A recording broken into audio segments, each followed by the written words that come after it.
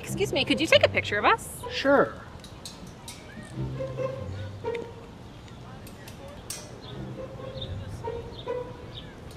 Yeah? Actually, could you take another picture of us? I realized I wasn't smiling in them. Sure, no problem.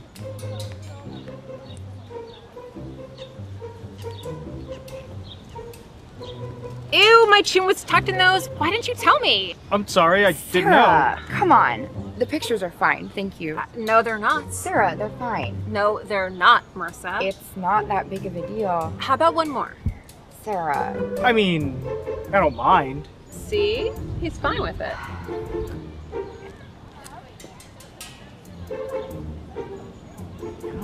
How those? They look great. Thank you. Posting now. thank God. Oh, you blinked, by the way.